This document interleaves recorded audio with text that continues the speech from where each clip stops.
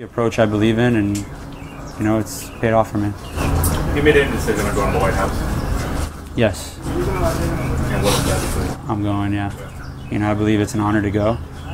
That's our capital. That's our, you know, that's the White House. Not a lot of people ever get to go there, so I'm really excited about it. JD, the, the, uh, in the second half, particularly August,